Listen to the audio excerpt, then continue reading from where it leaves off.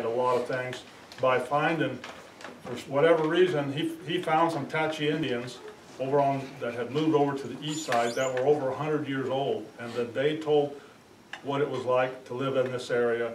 And then they also told, uh, from the previous chiefs what they had heard. So they were able to get information back for more than hundred and fifty years, almost two hundred years on things that happened here. But the stuff's only recorded in a, in a few places, and it's very, it's very hard to go back and, and find it now.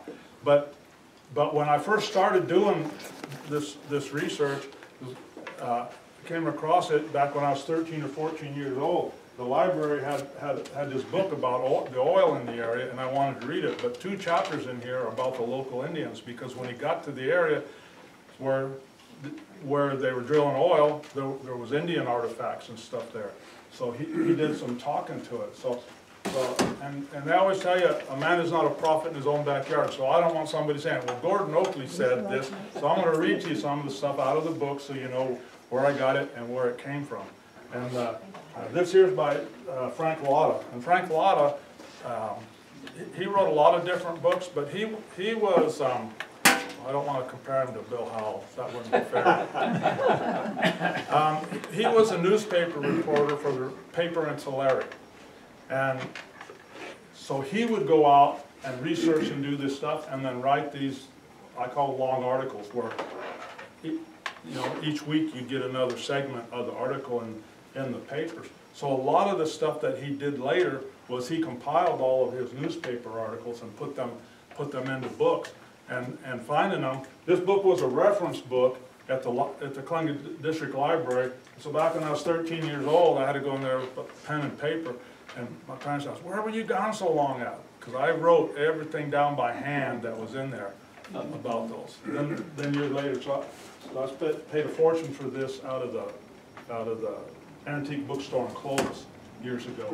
Uh, I, I found a copy and I paid extra because it had the, what they call the dust jacket on it and had the plastic cover on it. The, um, one of the other reasons, the other things, and I was telling Nancy, you go online and you look stuff up, it's, it's true what they say, don't believe everything you read online. I was looking for specific stuff, but I came across an article about Joaquin Murrieta. So I read it.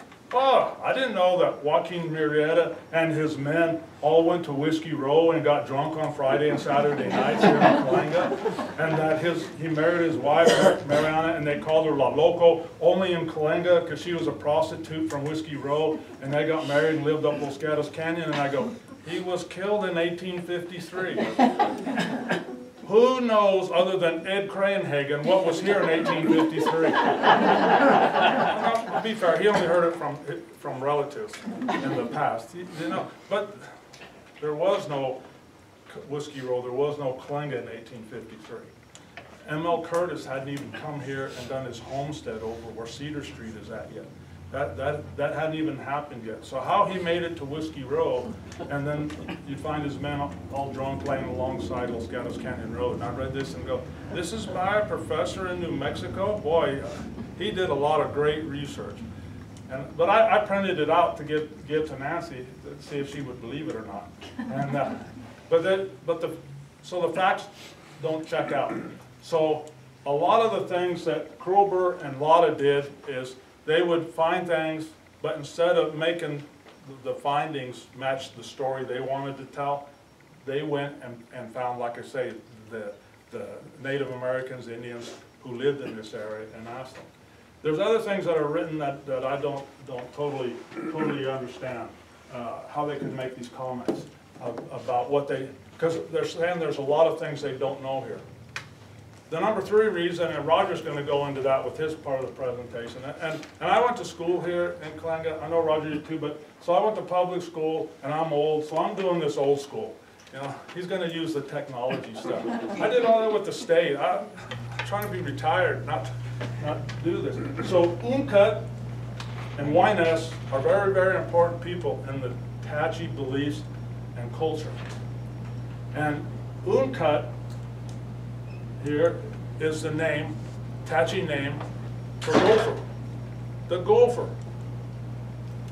Oh, I thought that was him coming in the door. Okay, Uncut, the golfer. Wyness. Who's Wyness? You know who Wyness is? And when I do stuff, it's interactive, so if you, oh, you is their equivalent of Adam. He's the first man that, that they ever knew. And he is the key that held fire. He's the only person that had fire. And he lived here in the Coalinga area. And from the other side of the valley, where the, what they used to call the Santa Rosa Rancheria is at, in Orem Porterville, they could see over on this side of the valley, there was fire. So the Indians on that group, and they believe a lot in the, in the, the mythical parts of, Um, of the, that the animals. They sent the rattle, the gopher snake over here, they sent the eagle and everybody else to steal this fire from Wyness, but he was always sharp and caught them. So finally, they, they even, they tried the gopher snake, they tried everything to get there, they couldn't do it. But their belief is that Uncut, the gopher, said, well, give me a try. So he went, and all the animals went, and they went to Wyness, and he hid in the back behind them. So like sitting behind Bill Morris, there's Uncut the gopher, and he dug underneath and came up here while I'm guarding the fire, and he got some of the fire and put it in his cheeks, and then dug a hole, and Wyness hadn't seen him yet till after he saw he was leaving in this hole, and dug a hole all the way under Tulare Lake and took fire back to all the Apaches on the other side. And that's, and that's their belief, that Wyness, but they came to the, to, and the Indians at the time they interviewed knew that it was Coalinga area, but it's before Coalinga. But they came out here to the Indian camps at Coalinga because that's where Wyness kept the fire. And that was the only place they could get fire in all the San Joaquin Valley. So that, that was one of, of, of the very important things of what they did in Coalinga. There's also another one, uh, that the prairie, uh, falcon and the crow, they talk about, the Indians like to gamble. They had come up with their own gambling games, and they had a game that was real similar to golf, that they hit these. Well, they believe that game originated here. They'd start over on the valley, they would come across, and they would bet on whether the, the raven or the crow was gonna come back first. So you would hit this ball and keep hitting this ball, and they came all the way to the hills, two hills south of Coalinga, two of the lower hills, and that was the goal. You had to go around that and then go back to, to the country. So Coalinga was well known to them. And it's been discovered that Coalinga, uh, the Indian camps around here were very, very old. These, these aren't places that were just a, just a couple hundred years ago. These places are real old, very, very, very old. And, and the, the naming in place, here's some of, the, here's one of the interviews that they did with, the, with one of the Indians. Um, he, he told of having visited the asphaltum seepage near Coalinga when he was a child of not more than seven years. At that time, about 1830, his people carried away many pounds of asphaltum. About 1890, while returning from Pozo with a sheep shearing crew, he visited Coalinga again to the asphaltum seepages and he saw white men digging in the pits at the same site where the Indians had gathered asphaltum for a long time. So what did they do with the asphaltum? They made balls. They made Like- ball, Yeah, they made little round balls. they made little round balls, what they do with asphaltum. They waterproof the fire. arrow shafts, heads. Yes, so they, they tied the, the, the arrowheads on, like the other Indians, onto the shafts with sinew, and then they sealed them with asphaltum so they wouldn't come back apart. So they, they used it kind of like a, a, a additional glue, but it sealed them and kept everything there and, and kept, kept the, the, the sinew and stuff together.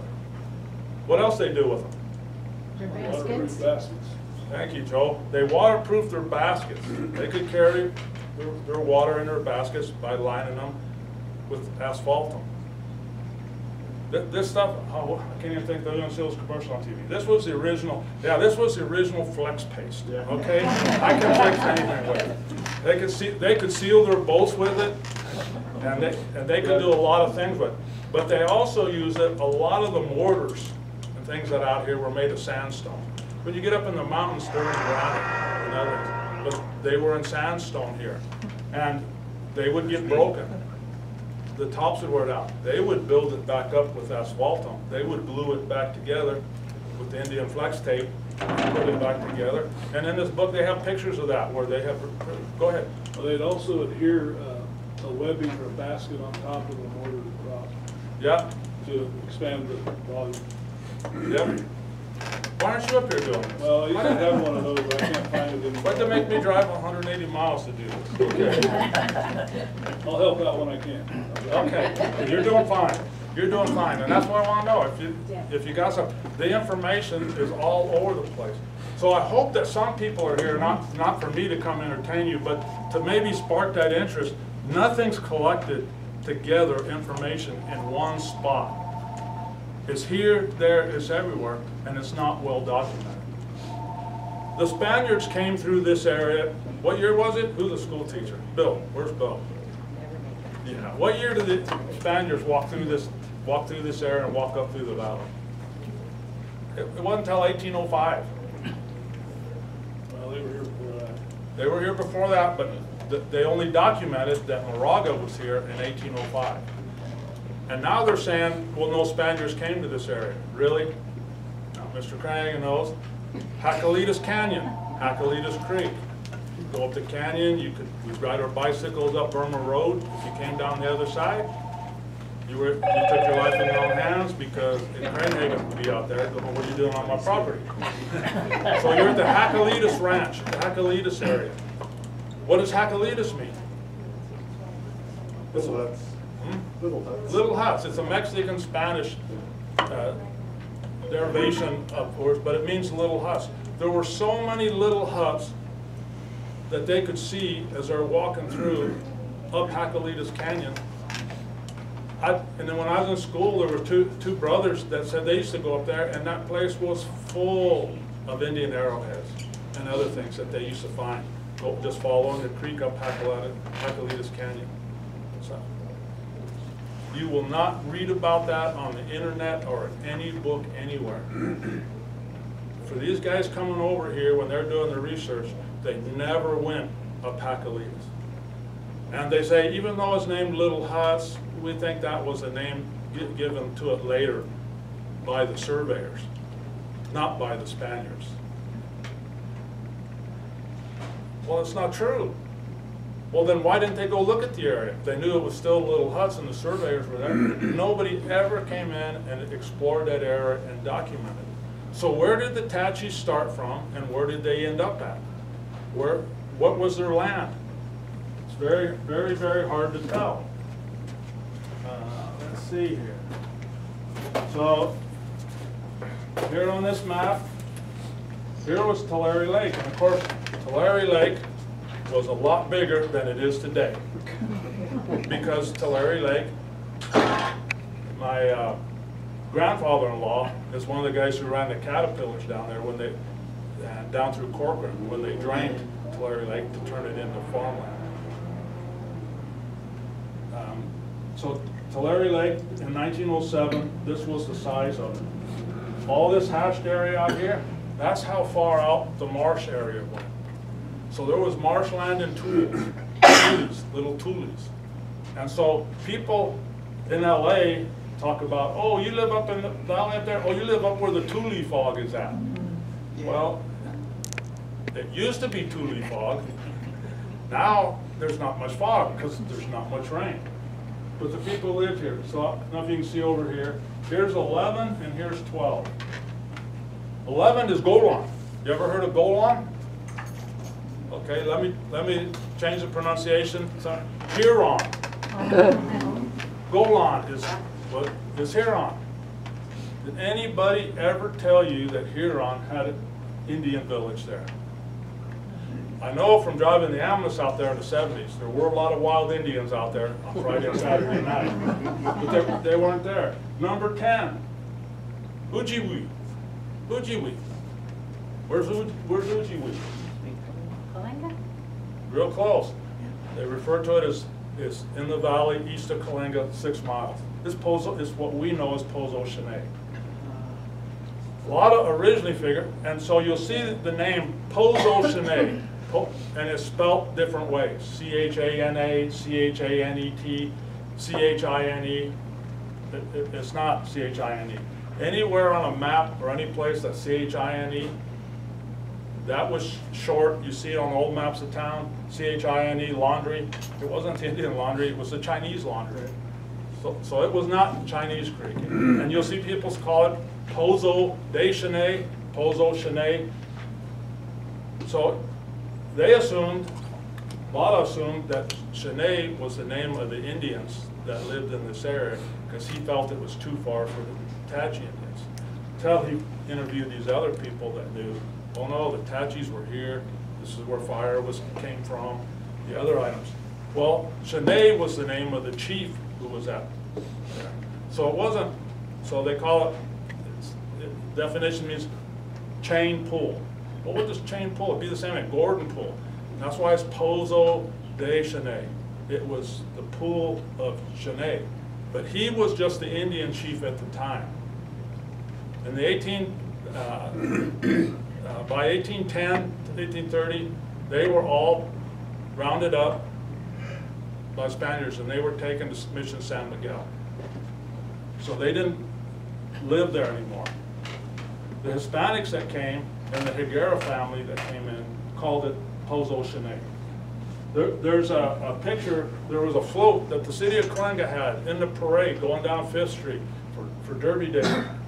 I don't even know what year it is, looks like the sixties, and it said, City of Coalinga, Pozo de Chene, eighteen forty-three to eighteen fifty-three. I don't even know where they got those dates from. The, the Pozo Chene was, was a stop on the El Camino Viejo. It was a watering hole. So, eh, so after the Indians were gone, and they escaped once and came back, in eighteen thirty, they were picked and taken back up to San Miguel. It was a watering stop on El Camino Viejo. There was not just a pool there, and the reason why it was uh, so famous, there was also a cienega there. And the cienega, not down in LA, La Cienega, it's, it's a marshy swamp area. The water bubbled up, came out of the area, there were trees that grew there, vines and everything. So then when the Higuera family came there, and after the Indians had left, it was used as a meeting place where the wild mustangs were rounded up from the mountains and brought down to that area. Then they were taken up to the Bay Area to be sold and taken down El Camino Viejo that went all the way down to Ventura, to Ojai, and took them down there to, for sale. So what they call the Mestineros, Mestineros uh, ran that. Mustaños. Uh, Mustaños. Mustaños, so there you go. But you you can, see, that's why I cut my hair. Long hair can't hide a redneck. Okay. Okay, yeah, and so they, they ran the horses back and forth. They brought them from all sides, they brought them there. Some from the south were brought up, and it was a horse trading place. Well, they all left, and, and Kreyenhagen came and took it over. And what did the Kreyenhagen family run there originally? Sheep? No. Sheep. sheep. Yep, they had sheep and livestock. Well, they took it over, and I, I actually have uh, copies of the directory for Pozo Chene, when there's about twenty different families that, that lived out there. Um, I don't remember which, the, but, um, the, the different Kreyenhagens, and then one of the Kreyenhagens moved and went to Polvadero, because Paul Polvadero was another watering hole. So he ran sheep there. It's the same time they owned the, the uh, Fresno Hot Springs, Cling- what we knew as Clinga Mineral Springs, also known as Rogers Springs. So the families moved around. Okay, so what Indian tribe, this is Nancy's question, lived up Los Gatos Canyon? Uh, What do you think, Roger? What we've seen is we suspect different tribes came in and out. Okay, There were a few in the creek and a lot of it was a hunting area. Nobody went up that way. The Indians did, a lot of evidence of that. The reason you can find some things, some of the things that find in history on this stuff, with the current environmental impact reports, we've all heard about, it. you need an EIR study. The state and local governments have done a lot of research to identify these sites and get the names of these places down, so when you build, they can designate whether you can build or what you have to do to relocate them. When they found Pozo Chene, the railroad came through and went right through the upper part of Pozo Chene. But they just, so in eighteen eighty-seven, when they're laying the tracks from here on, they came through and just touched the surface, put the ballast, put the ties down, laid the track. Didn't really disturb it. But then when Phelps was run along, the- uh, following the dirt road that went out to the farms, and they dug right around where Kreyenhagen's had their, no, where the road cuts around like this, they cut into the hillside. And that's where they found Indian burial site. And the Indian burial site, from that point on, and I'm just gonna tell you, was desecrated and pillaged by almost everybody here in town going out there looking for items. And, and the, part of the skeletons and the skulls that were there were brought in here to the museum. And they were put in a back cabinet by the back, by that back door, leading out the side there. And they were in that cabinet for, for years and years, until one day Indian tribes came over and said, why are you displaying our ancestors in a cabinet? You gotta do something with them. They were taken out at that time, they called my dad, he was the foreman at the cemetery. I was, my dad said, you gotta come with me, you're the, you're the guy in Boy Scouts that does all the Indian stuff. And we took them, and we took them out, and we reburied them. We buried them in a plot, place where they can't be disturbed again. And so only my, only my dad and I were there, we didn't take anybody else with us, and my dad's gone, so, so I'm the only one that knows where they're at. We buried them actually at the cemetery, but they're not in a marked grave, they're not in a spot where they'll be dug up. They're, they're real close to the creek, so they're within a mile, well, they're within the areas they roamed at before, but they're within a mile from where they were, where, where they were dug up before. And so today I was told there people, so back here in the cabinets, you'll see stuff by Gordon Kane. He, he highly excavated that area and sifted through all that stuff and then had his own collection of stuff and stuff that was donated to the, donated to the museum. You'll also see stuff back in the cab, in a cabinet back there, this full headdress and regalia from, it says it was from Harless Danny. So who knows who Harless Danny was? Yeah, remember Harless Danny? Harless Danny was a fire chief. He was a great man, he was a fire chief. But, but, uh, he, he, he died early on in the fifties, he wasn't that old. But part of his hobby was, he was into theatrical and he was into entertainment. And so once the high school auditorium was built on Saturdays, he would go there and, uh, he had a whole troop of people that went and they put on shows there. Well, the shows that, that they put on, then he met these Indians over on what they called at that time, it wasn't Tachi Palace, it was the Santa Rosa Rancheria. And they, they formed a common bond. It was sealed over many bottles of liquor. And that's kind of why he died early. He had, he had a rel, relation to uh, cirrhosis of the liver. He, um, Roy Hamilton used to live with him for a while. He says he, he drank all, all the time. And so, the stuff that's back there, I told him, that's all Plains Indian stuff. That is not California Indian stuff. Well, there's a book a lady published in nineteen seventy, like nineteen seventy-seven. And on the front cover, there's a picture of the Tachi Indian stands and they're wearing that, that stuff. He went to Bannerman's catalog, and he ordered all that stuff for them to put, to put,